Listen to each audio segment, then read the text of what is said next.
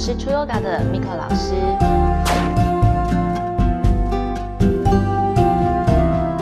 今天我们要为大家介绍一个简单的瑜伽动作，是可以帮助你防止你的胸部下垂或者是外扩。女孩子有时候因为年龄的增长，或者是因为穿内衣的方式不正确，多多少少都会有一些胸部外扩或下垂的情况。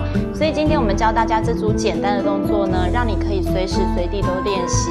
哦，你不管是在家里或者是在办公室，只要你是坐着、站着都可以练习。首先，你可以坐在地板上，或者是你坐在一个比较舒服的椅子上都可以。哦，那站着也是可以练习这个动作。那把你的双手合掌放在胸前，然后记得你的手肘呢要微微打开来，感觉你的手是成一直线。那记得你在练习这个动作的时候，你要感觉你的手掌是有力量的，互相推。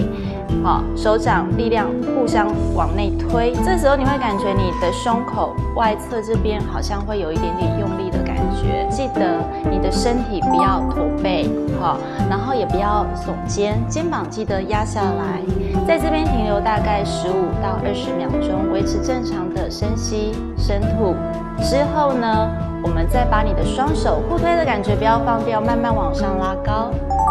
这时候你一样感觉你的胸部外侧会有点点用力的感觉。我们这个动作要防止你的胸部下垂，所以我们把手拉高。好，那这个时候呢，很容易犯的错误就是很多人会把手肘往外翻。记得你的手肘要尽量互相靠近，所以你会感觉你的胸口是夹很紧的。那手掌互推的感觉一样不要放掉，除了手指头往上延伸的感觉之外，你一样要让你的手肘尽量是往内收的，肩膀要持续下压，手拉高，不要耸肩去练习这个动作。肩膀记得压下来，然后脊椎尽量拉直，维持十五到二十秒。好，这时候你可能开始觉得你的胸部外侧会有点点酸酸的感觉，之后把你的双手伸直，然后慢慢把你的手掌，你可以把你的左手掌。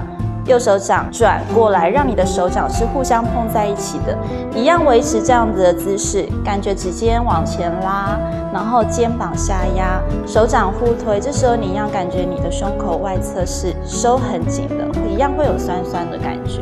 一样在这边维持十五到二十秒钟，然后维持正常的深吸深吐，记得耸肩的动作不要出现。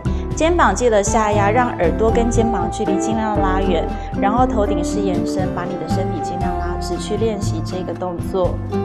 好，完成之后，你可以把双手放下来，维持三到五个深吸深吐之后，就可以休息了。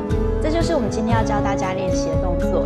记得你随时随地都可以练习这组动作哦。我们今天要到这边，谢谢大家，再见。